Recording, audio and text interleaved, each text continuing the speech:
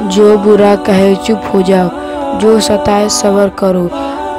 अल्लाह की कसम, ऐसी ताकत बनाओगी कि पहाड़ भी तुम्हारा रास्ता देगा।